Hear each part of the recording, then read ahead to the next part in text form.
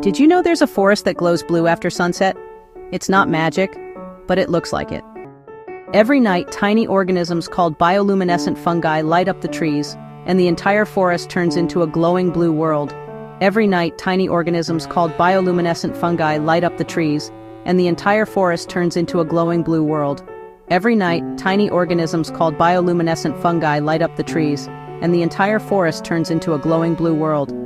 Some species are so bright that explorers use them as natural flashlights.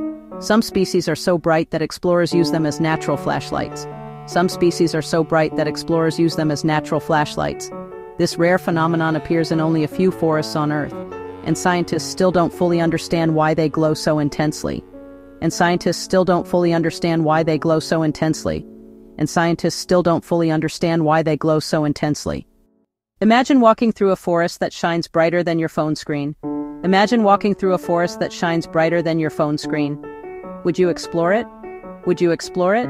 Follow for more mind-bending science facts.